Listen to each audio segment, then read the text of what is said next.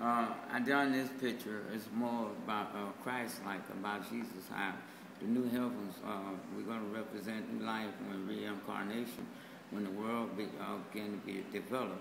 And I kept saying Jesus' face, but I seen my face also in it, and on his face, and he said I was a lamb. So I just put different exotic, different uh, characters and animals and stuff, how, how he would save the world before uh, went by 96 billion light years. So, and that picture there, I, I really don't know why my mind was at, but I put it in there with feelings and stuff, and it came to me as I was doing this picture, and I I re-raced it and repaint over it, and I did uh, my picture as just like telling the world or my elephants how it's gonna be, what it's gonna be like when the end of the world comes.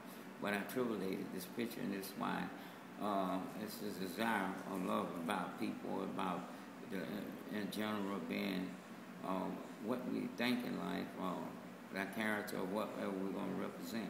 And so I put my face in the new heavens that I'll be there. And I just think um, um, the flowers are alright. My precious butterfly, I put in mosaic, but uh, you really got to look at it in order to tell what's in it. And uh, whatever comes through the canvas, that's what I paint.